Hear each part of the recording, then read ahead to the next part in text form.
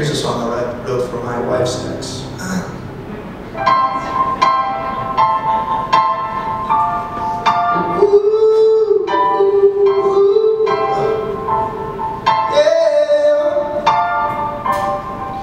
It hurts.